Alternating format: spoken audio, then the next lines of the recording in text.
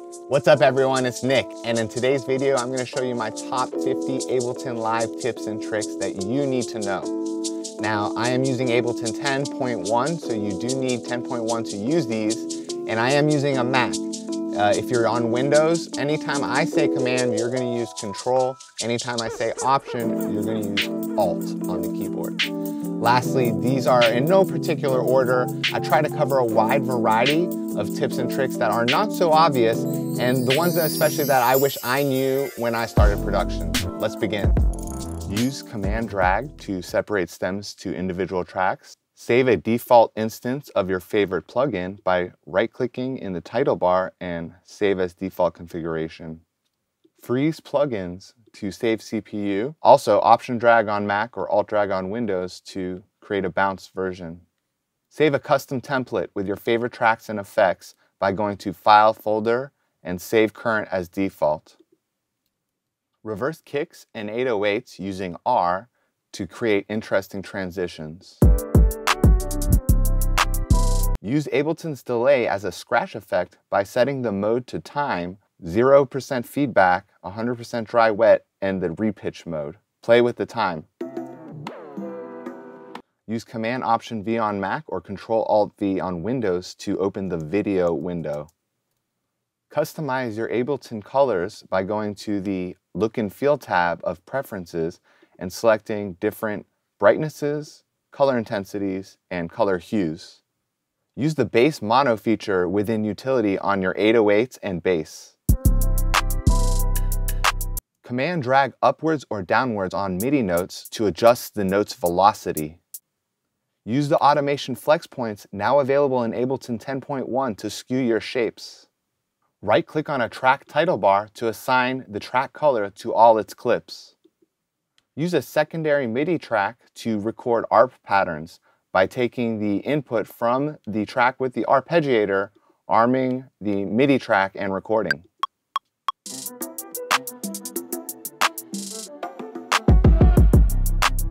Change the default metronome sound by replacing the metronome.wave file within these file paths. Input exact automation values by right-clicking and selecting Edit Value. You can then type the value you want. Transcribe chord progressions from a sample by right-clicking and selecting Convert Harmony to New MIDI Track. Try putting your favorite VST on this new MIDI track. Hold Shift on the end of a clip to stretch it, and then play with the preserve timing and envelope values. Yeah. Yeah. Use Z to zoom to a selection and X to quickly zoom out. Hold Command and click and drag across the velocity window to ramp the values accordingly. Use the MIDI stretch markers to get five even notes per beat, also known as quintuplets. Use sidechain gating for some interesting audio chops. Load up your favorite dynamic devices onto an audio and MIDI track and save them as your default audio and MIDI track by right-clicking on the track title and clicking Save as Default. Use Command K to map parameters to your keyboard. In this case, we're mapping the capture button to C, which will capture any MIDI I play even if I'm not recording. When using your QWERTY keyboard, use the keyboard shortcut C to lower the velocity and V to increase the velocity. Save your presets with shorthand, that way you can recall all the same instruments at once. When pitching vocals down or up, try to use the Complex Pro warping algorithm and play with the formants for different textures. Right-click on the EQ8 title bar and click on oversampling to get a slightly better quality. Use Command 4 to turn off the grid and use the arrow key to nudge your drums to get slightly looser timing. Draw on the notes of the scale, then use the fold function to collapse the piano roll. Lastly, use the left arrow key to move these outside of the piano roll. Now any note you put in is inside the scale. Extract timing and grooves from loops by simply dragging the loop into the groove pool located on the left. You can now apply these grooves to other clips by simply dragging them onto the clip. Record takes by simply looping a region.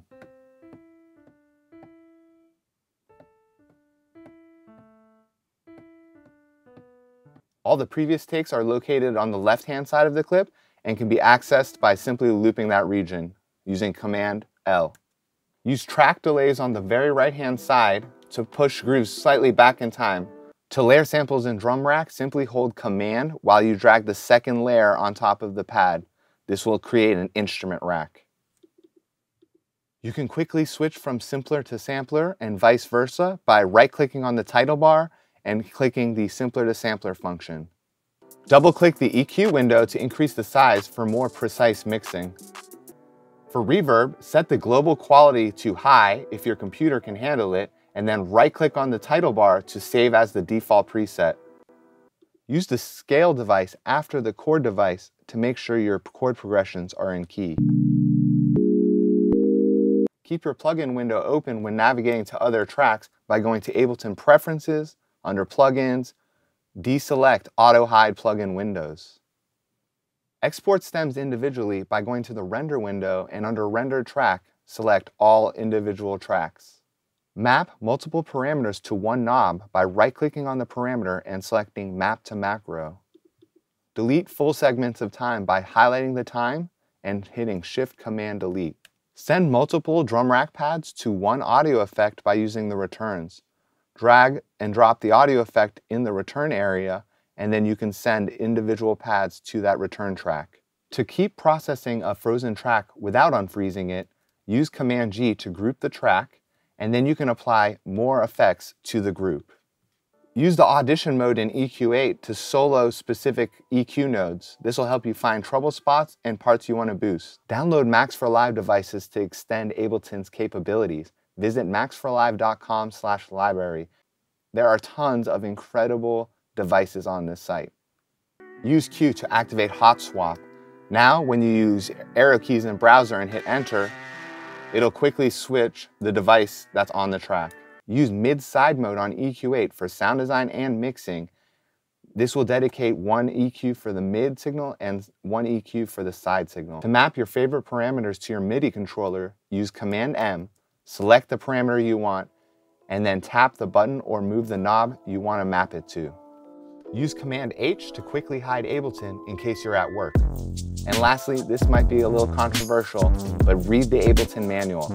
This is one of the best written product manuals I've ever read, and it will definitely give you a deep understanding of the software and really a comprehensive knowledge of Ableton. And those were my top 50 tips and tricks for Ableton Live. Let us know in the comments a tip or trick that we didn't cover in this video so we can extend the knowledge even further. Please subscribe to our channel for more production videos. And as always, thanks for watching. Until next time.